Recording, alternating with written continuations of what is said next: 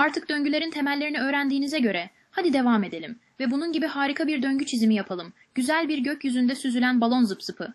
Ben programı sıfırdan yazarken sizin de bunu kendi başınıza nasıl yapabileceğinizi düşünmenizi istiyorum çünkü çok yakında siz de yapacaksınız.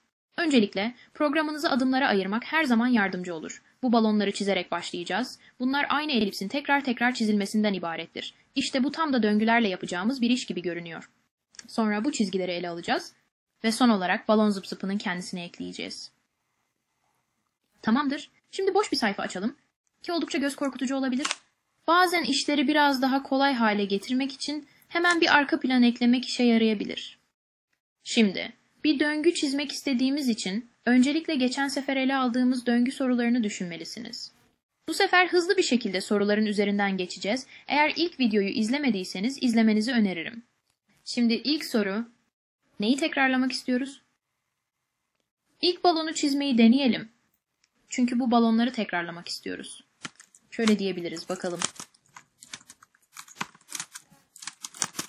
Bu biraz küçük oldu. Tam olarak doğru yerde değil. Bu yüzden biraz hareket ettirmeyi deneyelim. Bu da programlamanın bir parçasıdır. Bir şeyi denersiniz, tam olarak istediğiniz gibi olmadığını fark edersiniz, sonra tekrar denersiniz ve sonunda gittikçe yaklaşırsınız.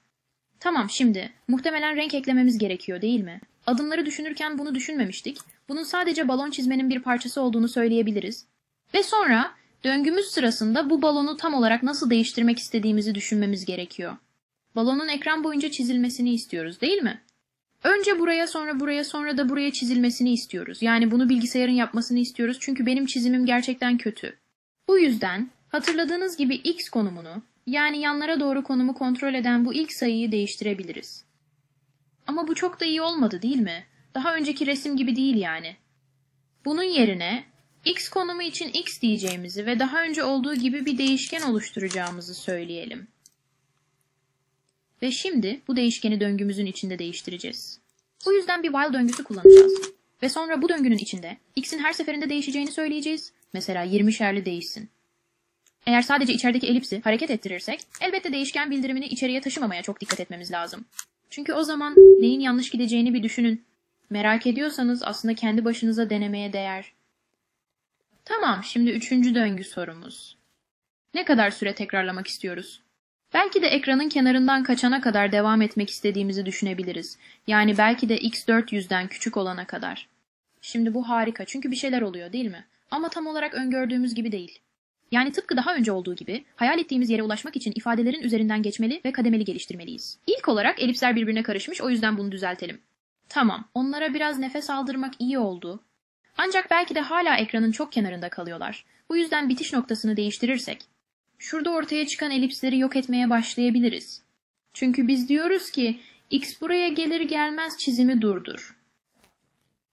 Ve while döngüsünün bu kısmı da bunu söylüyor. Tamam mı? Ayrıca diyebiliriz ki belki elipsleri biraz değiştirmek istiyoruz. Belki hepsini aşağı taşımak istiyoruz. Belki de boyutunu biraz daha küçültmek isteriz.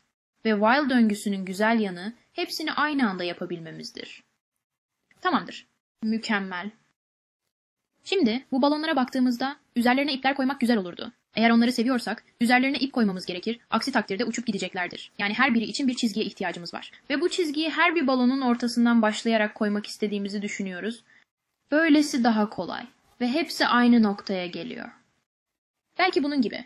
Peki bunu benim çizmem yerine programın yapmasını nasıl sağlayabiliriz? Eğer bir şeyi tekrarlamak istiyorsak bunu kesinlikle while döngüsünün içine koyabiliriz.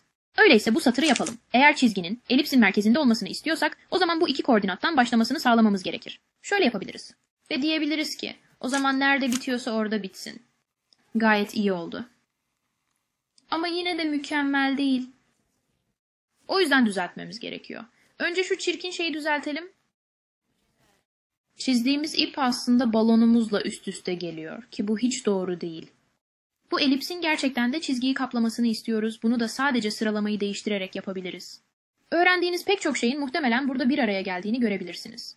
Tamamdır. Gayet iyi. Ama belki de bu çizgilerin rengini değiştirmek istiyoruz. Peki bu programı gerçekten kendi başımıza yapıyor olsaydık bunu nasıl yapardık? Belgelere bakardık. Ya da bunu nasıl yapacağımızı bilmiyorsak dokümantasyon videosunu izlerdik. Bu yüzden devam edebilir ve bu çizgilerin rengini ayarlamak için stroke kullanabiliriz. Ve belki de onları şu renk yapabiliriz. Çok güzel. Şimdi son olarak tek yapmamız gereken bir zıp zıp çizmek. Bu da onu bu şekilde bir resim olarak yerleştirmeyi gerektiriyor. Bunu nasıl çözdüğüme dair belgeleri görebilirsiniz. Zıp zıpı hareket ettirince bakın balonları bu şekilde tutuyor ve gökyüzünde süzülüyor. Ve işte oldu. İşimiz bitti. Balonları süslemeyi deneyebilirsiniz. Balonları biraz daha havalı hale getirmek için bu döngüye bir şeyler eklemeyi düşünebilirsiniz. Ve hatta bir sonraki çiziminizde bir döngü kullanabilirsiniz.